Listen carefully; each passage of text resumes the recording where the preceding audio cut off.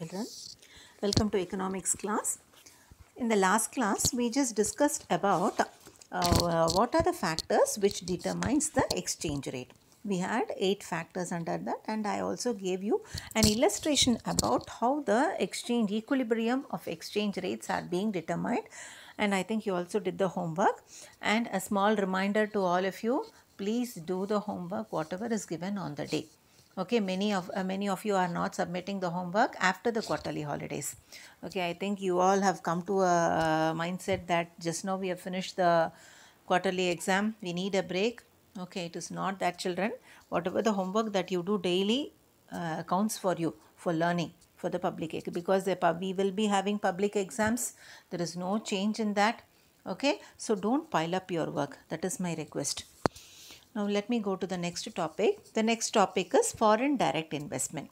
See foreign direct investment it is a very very important factor which determines the global economy that is the world trade as such the eco economical situation of the whole world as such is being determined by one of the important factors called as fdi fdi is foreign direct investment foreign direct investment see for example if a country uh, is doing the investments okay?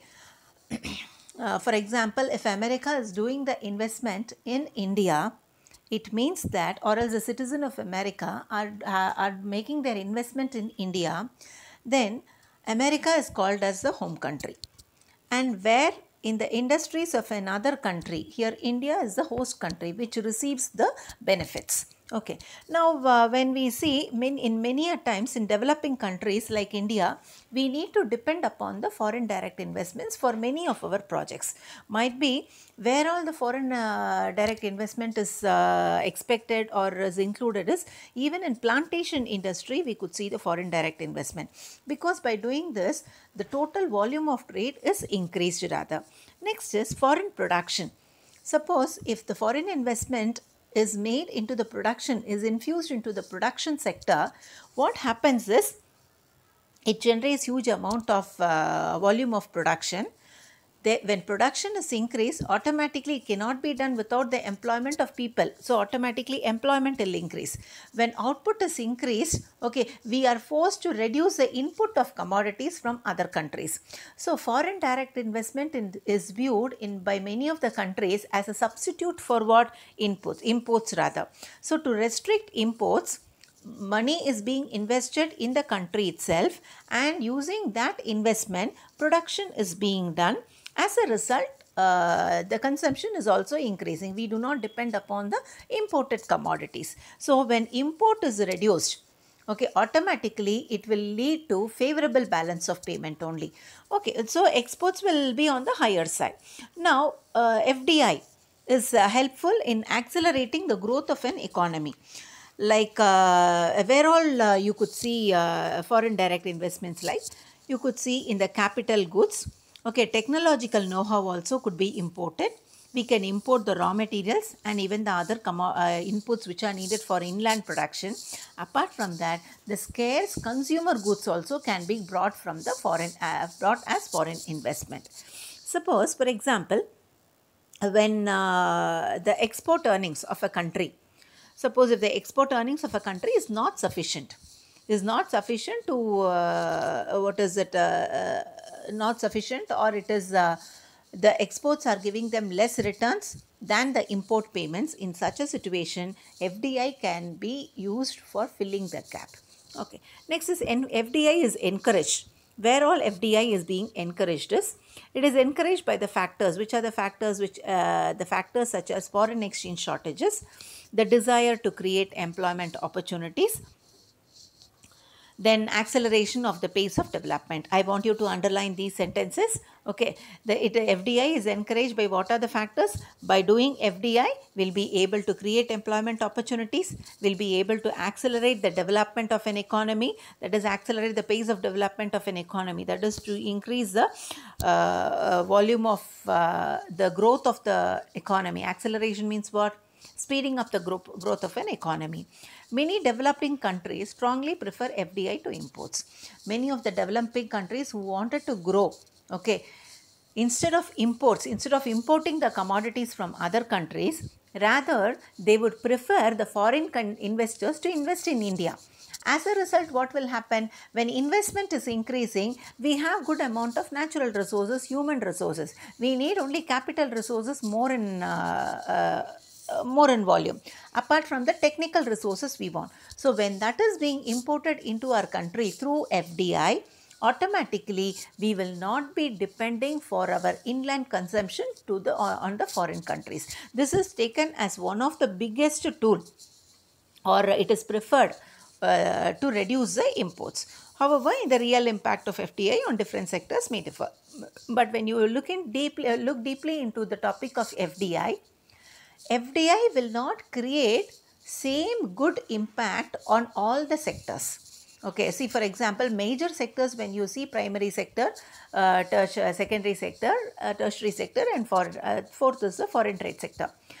If you see uh, FDI, if it is in if it is made in industrial sector, it is bound to give good amount of results.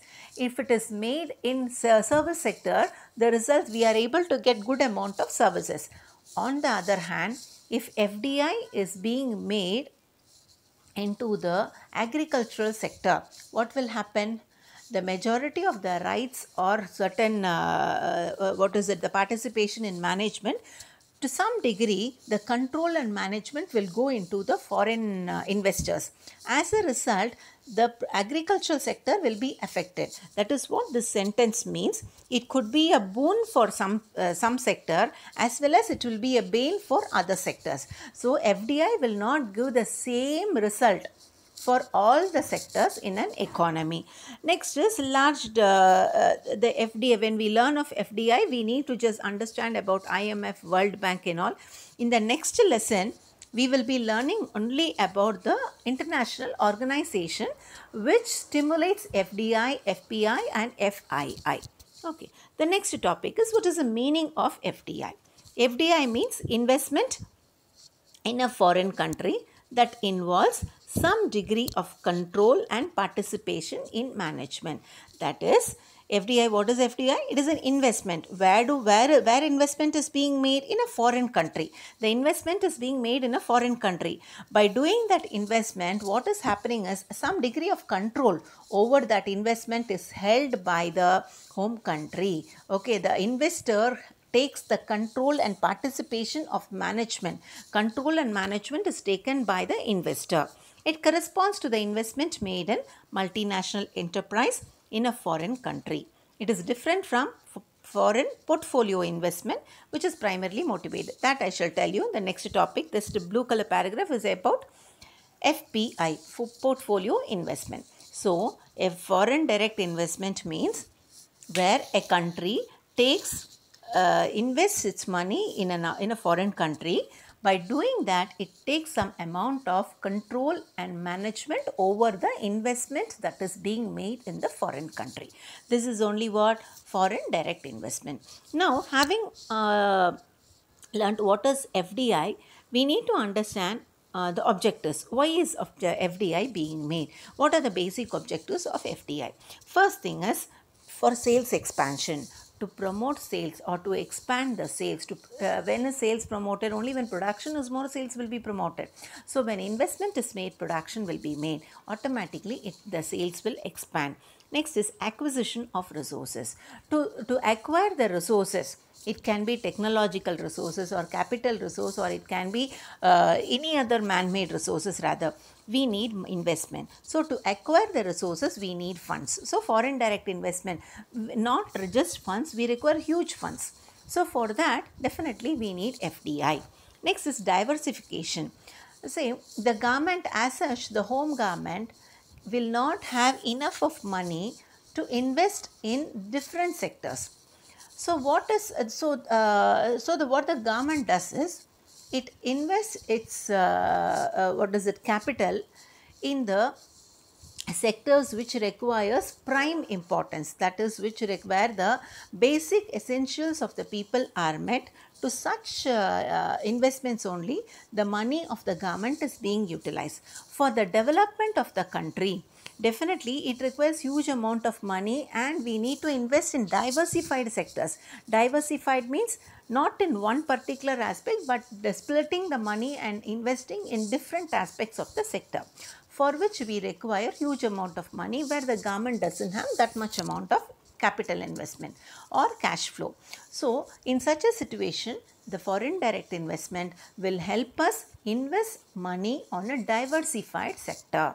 Okay. Next is minimization of competitive risk.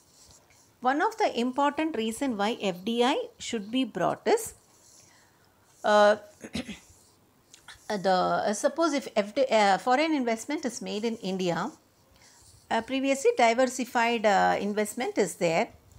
Uh, so what happens is it leads to the development of more number of enterprises doing similar commodities. Take I'll, I can give you an I can give you the example of uh, uh, what is it the operating systems. See previously mono the there was Microsoft MS Microsoft was enjoying the sole monopoly rights okay of uh, uh, bringing in the operating system for many years together for many years there were no other company which had its investment into the IT sector. Okay or the whatever we are using the operating systems.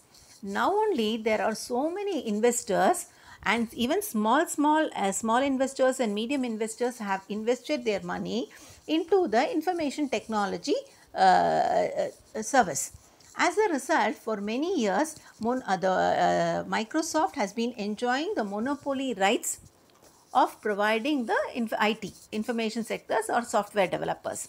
Right now what is happening with the huge amount of FDI, the it leads to the development of more number of competitors for the uh, for competitors in the information technology sector. As a result what is how is this being made possible? Only because of the investment which is being made by more number of small competitors. So fdi it minimizes the competitive risk. So these are the four points for which fdi is required. Objectives. It is quite an important answer and it is just a two mark or three mark answer Next, let us understand before going to the advantages of FDI, we need to understand what is portfolio investment. It means suppose, for example, if an individual or a country is investing its money in the banks or in the shares or stocks of other country mainly for the purpose of speculation. That is buying when the price is less and selling it when the price is high. Such a investment you call it as portfolio investment. Suppose for example if america is investing in our smart city project it this the it is not uh, fdi because it is a project of our indian government. So uh, the shares the shares are being subscribed by america. This particular project here america has invested its money in Indian projects or in Indian government only with a view to increase its face value of the shares. If this if this is the situation, you call it as portfolio investment. You don't call it as FDI. Okay. Next is um, foreign institutional investment. See, when we talk of institutional investment, there are when we talk of institutions, uh, we have various government operated or partly operated by the government sectors. The sectors like insurance sector, the banking sector and uh, the hedge fund sector. That is hedge funds, uh, hedge funds means where the, these people are financial investors who invest in a variety of assets, not in one particular uh, asset. They invest in different sectors. Such people who do this financial service are called as hedge funds and uh, mutual fund uh, uh, investment. Suppose if a foreign country or an, uh, uh, is investing in a mutual fund of some other country. See for example, that example is only given here. A mutual fund in USA can make investment in an Indian based company. That is, they are making the investment in the institutions that is institutions like it can be mutual funds or it can be uh, insurance sector or it can be the banking sector or it can be pension fund uh, this thing also institution also when investment is being made into these institutions Okay, you call that as foreign institutional investment FII. Okay. The next topic is what are the advantages of uh, FDI. The first uh, advantage is it increases the investment level. For a country like India, we lack capital formation. When FDI is there, automatically our investment will increase. Thereby what will happen? Production will increase, income will increase and employment will increase. Where? In the host country. Host country is the country which receives the investment. Next second is the technology. Please underline increase in investment, income, employment. Because this point is only about that. Next is FD. Because of FDI, the technology could be transferred. Okay, where from the donor, from the uh, giving country to the recipient country. So, the host country will enjoy the technology which is transferred from the uh, investing country. Next is FDI. It creates revenue to the host country. As a result, okay, they also get royalties. Profits are also being earned by the firms both are benefited. By fdi i'm our country is getting in uh, capital inflow. As a result of that we are uh, opening huge number of uh, industries and firms and we are earning profits. Like that by doing fdi those people are also enjoying the royalties gifts and concessions and even profit is also enjoyed by the investing country investing country home country.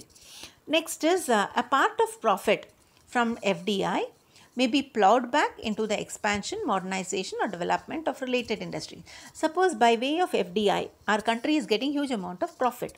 By doing that, the amount of profit could be utilized for the other sectors. I told you, agriculture will not be benefited much if FDI is introduced into agriculture. So what we can do is, we can invest FDI in the other sectors by, by way of getting the profit out of these sectors, that profit could be plowed back. Plowed back means what?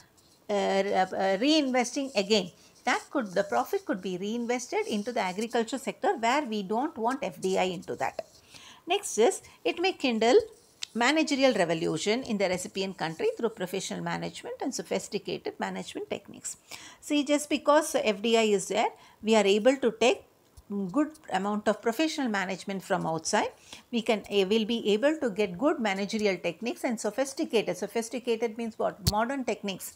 Because we have got money uh, through fdi next is foreign capital may enable the country to increase exports and reduce import requirements and thereby ease FBOP. As I told you, FDI can be taken as a substitute for imports Okay. So, what will happen when we are able to produce more goods through FDI, we can increase our ex exports. And because of FDI, we are reducing our imports also. By doing this, what will happen? Our BOP disequilibrium can be set right. Next is foreign investment may also help in increasing the competitive uh, and uh, break domestic monopolies. When FDI is made, more and more number of companies crop in. As a result, what will happen? It will break the, the monopoly. Monopoly means what? A single person ruling the market is monopoly. And because of that, more number of competition also will increase in the society.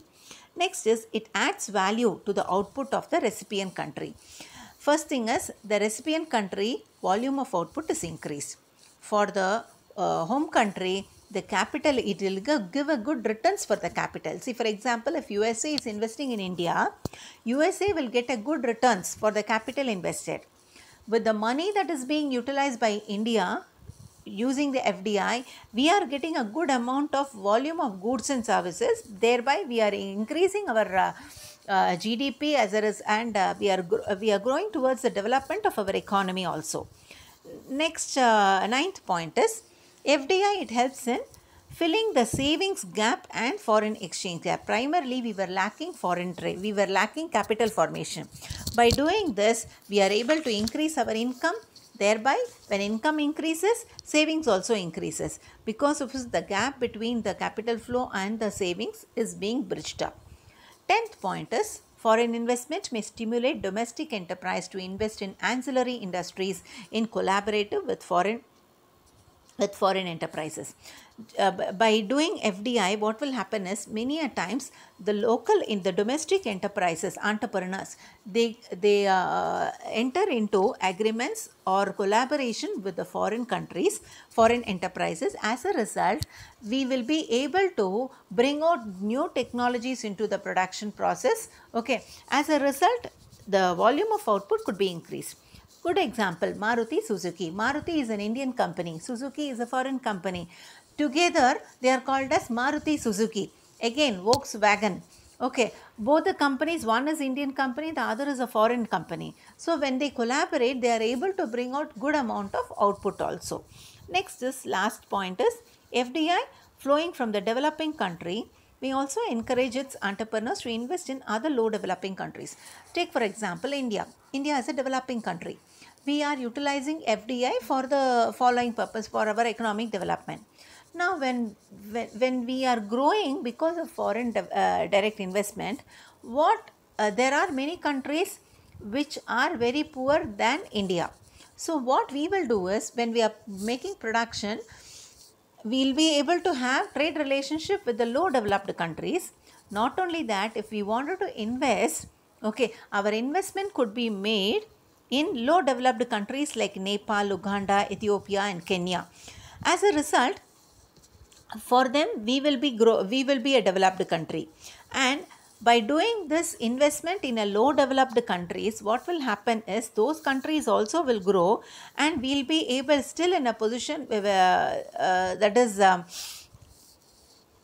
uh, those countries have a dependency on us also and we also have a place to invest also.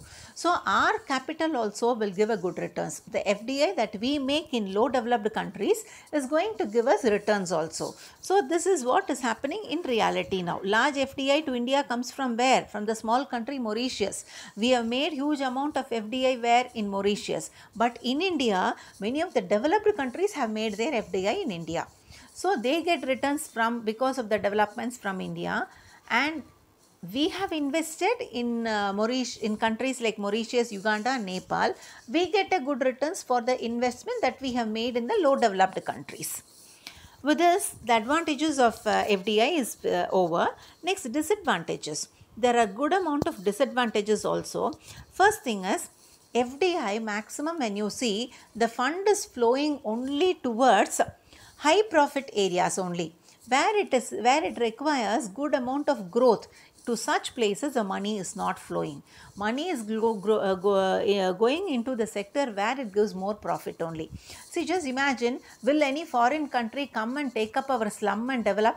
Definitely they will not do it. They will see that they invest their money only in the areas where they will be able to get good amount of returns. Okay next is technology is brought uh, from uh, which are brought from foreigners, many a times it will not suit our Indian uh, investors as such. Uh, see, we are uh, seeing into the um, many a times you might be. I think all of you are, have the habit of. watching this discovery channel and many a times food factory itself many a times we are seeing the food factory uh, the program of Food Factory in Discovery Channel. You might have seen the different ways of preparing chocolates and uh, uh, cookies in uh, where, um, in many of the foreign countries. You could see the technology of uh, uh, baking uh, through this food factory channel uh, sorry, programs we are able to understand. But the same technology of baking or cookie or baking cookies or what is it it can be biscuits also and chocolates is not followed in india okay because that technology we are not using in india as how those countries are using.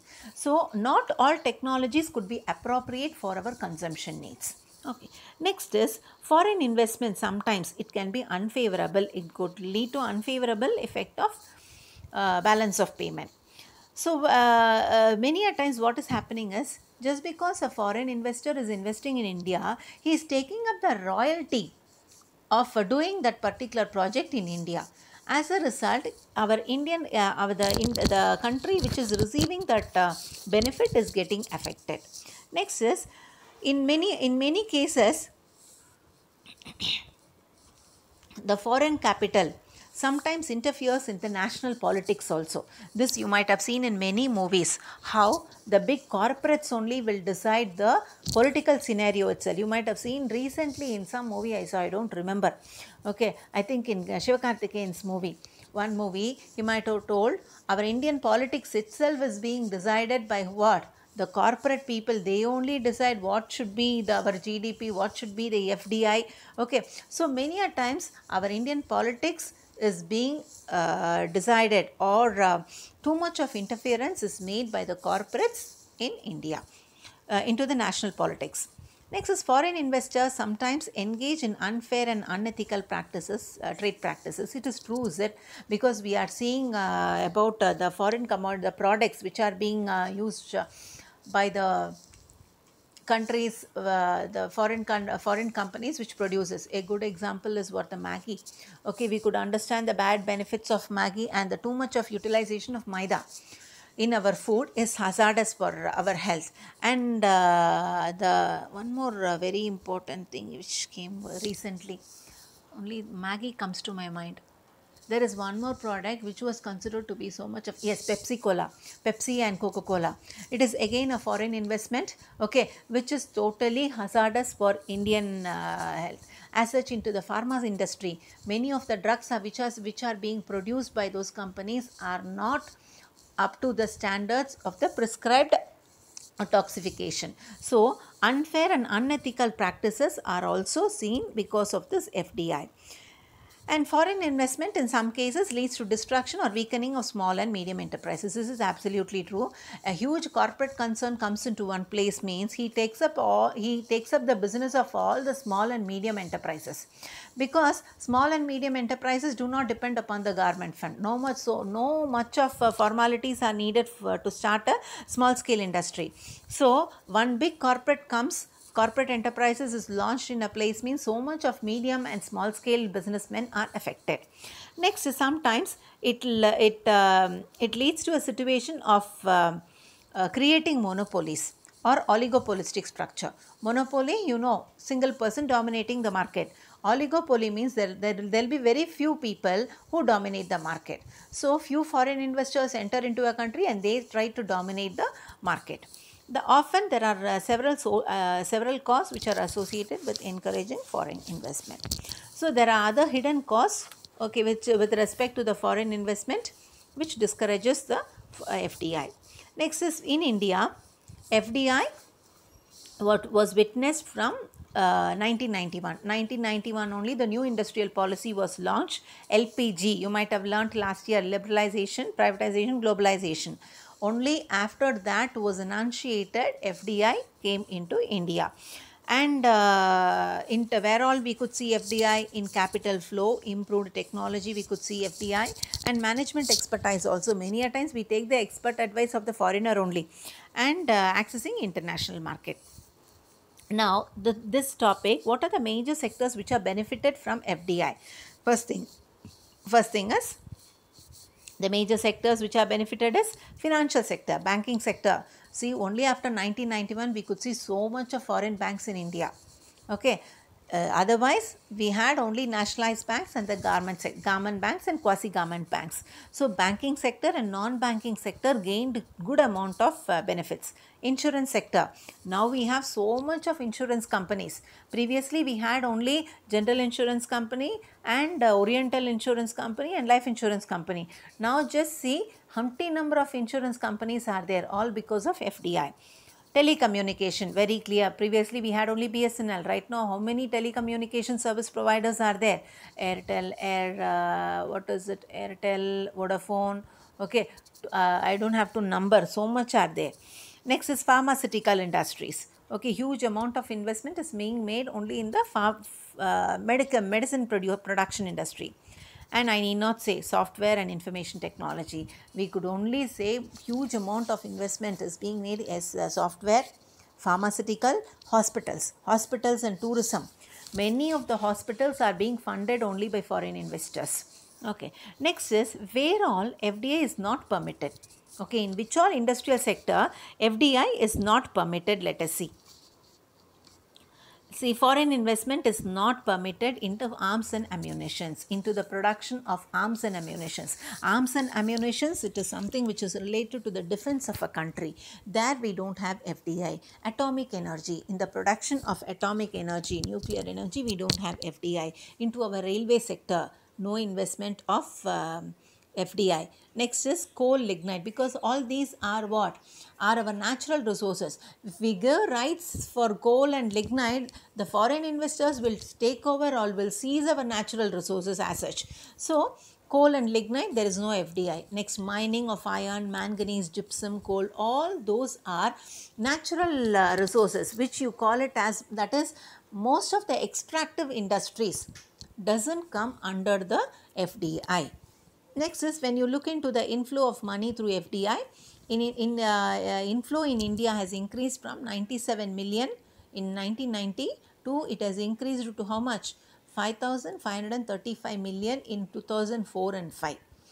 Just imagine how many times it has increased and it is mounting to 32,955 where in 2011 and 12 and uh, a latest report it reveals that India is declining in FDI from uh, uh, 40 uh, see uh, it was 44 billion in 2016 it has reduced to 40 billion in 2017 what does it mean? It means that we have start, we have started creating our capital. Capital formation has become because make in india project okay the project is by 2020 or 2030 we need to produce whatever we wanted. That is we need to become self-sufficient countries. So as it is might be it is only towards a move only towards a move towards make in india only our uh, fda has also reduced from 44 billion to 40 billion. I think with this we are finishing this lesson. The next lesson is about international uh, agencies. International um, what is it uh, international agencies or economic organization. Okay that is also quite a very very easy lesson. With this we are finishing this lesson. Okay and uh, for homework i want you to uh, just a second children. Mark the objectives. Okay. Let me go to the detail answer with detail answer we finished uh, question number 41 is over. And types of disequilibrium I think it is over. Components of BOP terms of trade. Okay okay. Okay. I want you to write 40 and 42 okay? We have not written 40 and 42 the types of disequilibrium and the relationship between FDI and economic development. 40 42 will be your homework. Okay?